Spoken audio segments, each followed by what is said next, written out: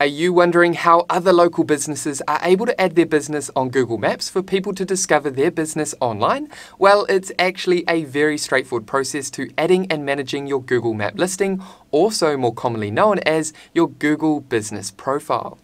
Hey guys, Stewart here, welcome back to this channel and if it's your first time here, thanks for joining me. I hope you're all doing well. Now today in this brief tutorial, I'm going to walk you through the step-by-step -step process of how to add your local business to Google Maps using the free Google platform called the Google Business Profile. Okay, so before we go ahead and launch into this brief tutorial, consider subscribing if you haven't done so already, or if you're new to this channel, and that way you'll stay updated with actionable videos and tutorials designed to equip you with the skills, knowledge, and tools to help your small business thrive online. And with that quick note out of the way, let's go ahead and add your local business to Google Maps.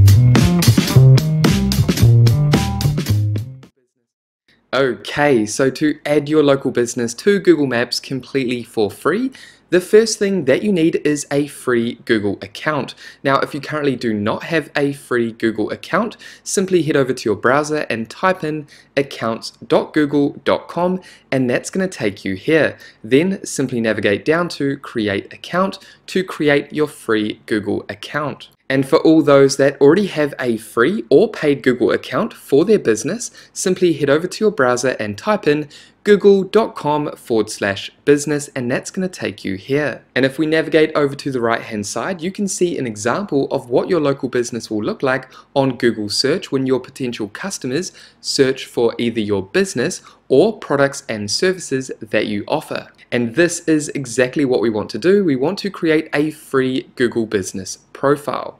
And that's going to allow your potential customers to call through to your business, find where your business is located if you have a physical storefront, and then simply visit your website and more.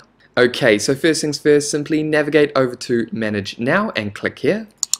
Then if you're asked to sign in to your Google account, go ahead and use the Google account that you just created or the Google account that you use for business and then sign in with that Google account. And once you've signed in, that's going to take you here. You can also navigate up to the top right hand corner and check that you have the right account selected. Then simply navigate down to type your business name and go ahead and type in your exact business name.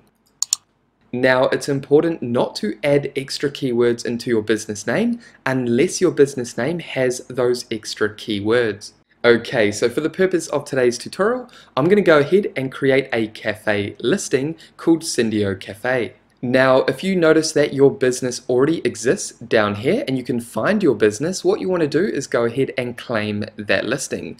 However, if you do not find your business name and you just see this information here, create a business with this name, then go ahead and click on your new business here. Again, simply navigate down and make sure that your business name is correct. Then come down to business category and add the category that best represents your business type. And as you can see for the business category cafe, we have all these options up here. What I'm going to do is go ahead and click space. And this local business is just a general cafe. So I'm going to go ahead and click on cafe. And then once you've located the most suitable business category, simply come down and click on next. And here Google will ask if you want to add a location customers can visit like a shop or office. And because our example local business is a cafe, we have a physical storefront. So I'm going to go ahead and click on yes. However, if you're a local business and you do not have a physical location that you want your customers to visit, then go ahead and simply click on no, and then you'll be asked to add the locations that you service. Then simply come down and click on next. And down here, all you need to do is add the physical address of your local business. Then once you've added the correct address, simply navigate down and click on Next. Then Google will ask if your local business provides deliveries or home and office visits. So for example, our local cafe, we do provide delivery. So we're going to go ahead and click on yes, and then come down and click next. And if you selected yes, then you'll have the option to add the different areas that you deliver to. Simply add those in here now.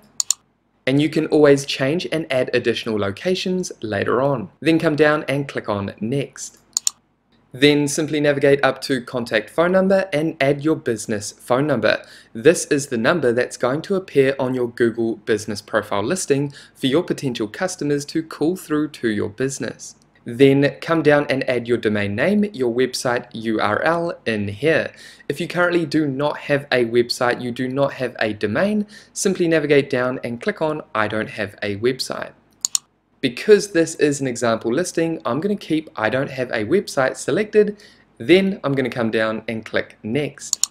Now, if your local business currently does not have a website similar to our example business, then what you can actually do is create a free Google Sites website through your free Google account. And if you're interested in learning how to create your own free website with Google Sites, what I'll do is link a beginner's tutorial up above and down below in the description that will guide you through the process of creating your own free website in minutes. Now, it's also important to note that the Google Business Profile also offers a free automatic website builder, which basically means when you add all your business information, you can automatically generate a website inside your Google Business Profile. However, this is a very limited and barebone website builder. However, if you want to understand and identify the best website builder for you between the Google Business Profile and the Google Sites website builder, then again what I'll do is link a beginner's tutorial up above and down below in the description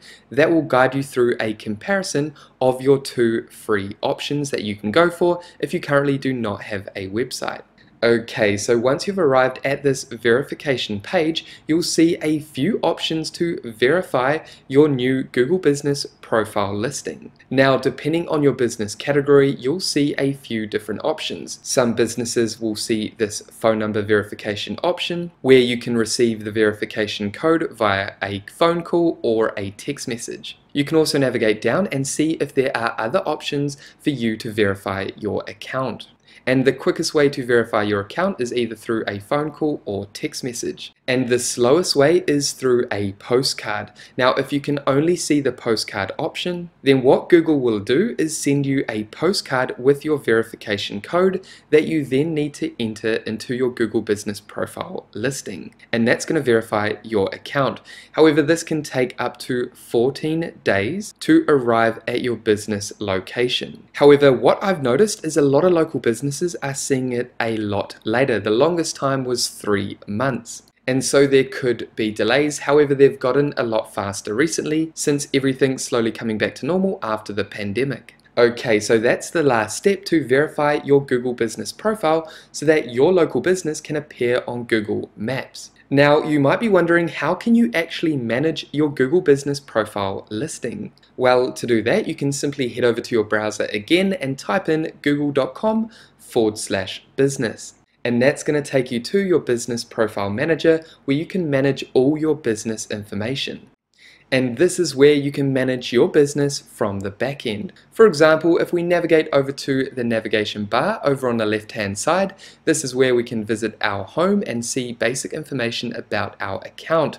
Below that we can create posts about our business. We can also add and update business information. We can also see analytics and insights about our listing. Below that we can review and respond to reviews that our customers have left about our business. You can also view messages, add photos, products, services, and you can customize your Google Business profile website here. You can also add additional users to help you manage your account. Now, I'm not going to go into too much information about managing your Google Business profile. However, if you're interested in learning more about how you can further optimize your Google Business profile and rank higher in front of your competitors on Google search, then what I'll do is link a beginner's tutorial up above and down below in the description that will help you optimize your Google business profile. Now you can also manage your listing from the search engine. So for example, if you type in your business name, once you're verified in Google search, you can actually simply manage your profile from Google search by simply coming down and clicking edit profile. You can also promote your listing and you can also manage the reviews from your customers. If we navigate down further, you can quickly complete your profile add photos, create an offer, and if we navigate across, we can create an ad with Google Ads, update your customers by creating a post, and more across here. And that is everything we wanted to cover in this beginner's tutorial, helping you add your local business to Google Maps. And there we have it for this brief Google Business Profile tutorial, walking you through the process of how to add your local business to Google Maps. Now, if you have any questions about this process, make sure to pop them down below. And with that said, thank you so much for watching this tutorial all the way through to the end. If you got value, make sure you leave a like and subscribe to this channel, and that way I'll see you in the next video. Take care, guys.